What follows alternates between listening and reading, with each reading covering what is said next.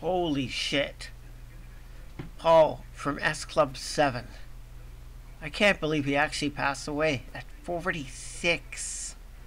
Still, that's that's young. That's young. But then again, there's a whole myriad of problems that could have easily contributed to that actually happening. That sucks. I remember listening to that music a while back. You know, they played it on the radio, but at the time, I didn't think of trying to use streaming services to try and listen to it all.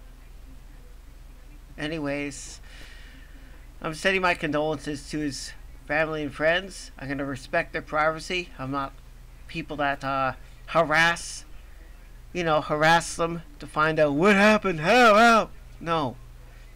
I'm one to respect people's family and respect their right to privacy.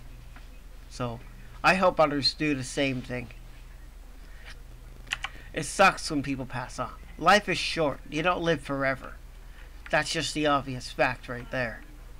Anyways, thanks for watching. Sending my condolences. Rest in peace, Paul.